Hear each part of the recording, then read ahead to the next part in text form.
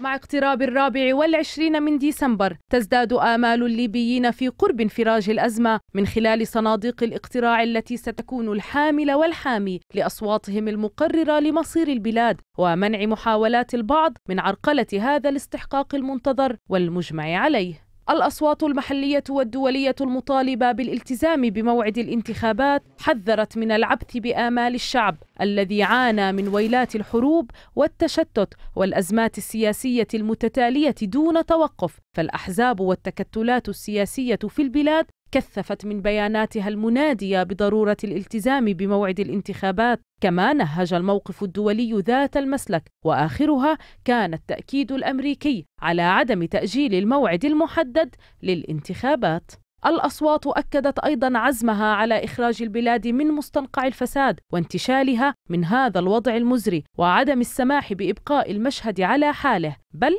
حلحلته من خلال التوجه إلى صناديق الاقتراع وممارسة الديمقراطية بحذافيرها وعدم السماح بحرمان الشعب من حقه في التصويت الحر. ثلاثة طرق أساسية يمكن لها أن تحمي البلاد من الوقوع في المجهول بحسب مراقبين أولها قمع المعرقلين لإجراء الانتخابات وثانيها منع المسيطرين الحاليين من وضع يدهم على مستقبل الشعب الليبي وآخرها وأهمها تغليب المصلحة العامة على الخاصة أيا كانت وهذا ما يفتح المجال بشكل حقيقي للحفاظ على ما تبقى من الوطن.